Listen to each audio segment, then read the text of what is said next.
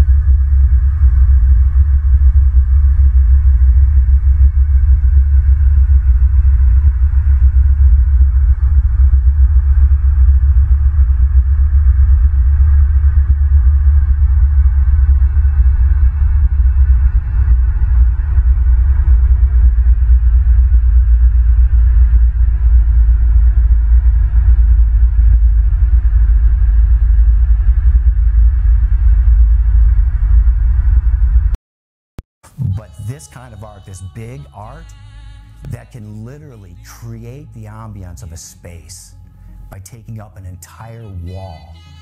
It's, it's, it's really just incredible. And it's so unique.